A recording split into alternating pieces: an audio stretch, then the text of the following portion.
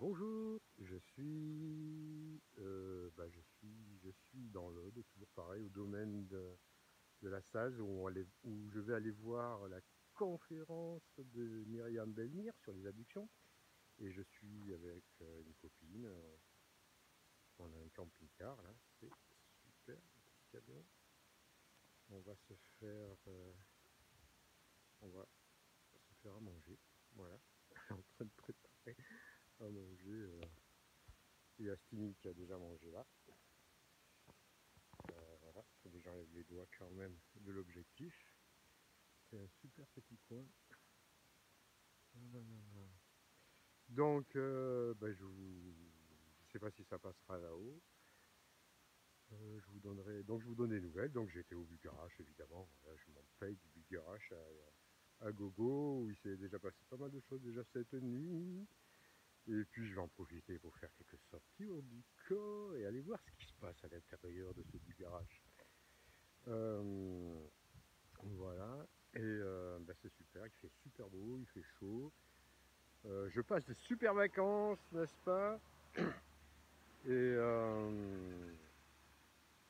et puis ce matin avec Stini, on a été, moi j'aurais pu filmer mais c'était bon, pas l'occasion. On a été dans une source d'eau chaude Et on a été se... Enfin moi j'ai été mettre les pieds dans l'eau dedans. Le baigner ça fait super du bien aux jambes.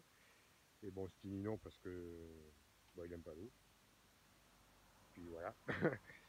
Et puis je, voilà, donc c'est un peu c'est assez marrant c'est ce qui se passe. Et je vous raconterai, de toute façon je suis en train de filmer, de faire une vidéo longue, voilà, je suis à Sous-Graine, ceux qui connaissent c'est un petit coin perdu, euh, comme tout est perdu ici. Voilà, souveraine. Je sais pas si on voit. Voilà. Et un truc où on fait des crêpes. voilà, c'est la guinguette.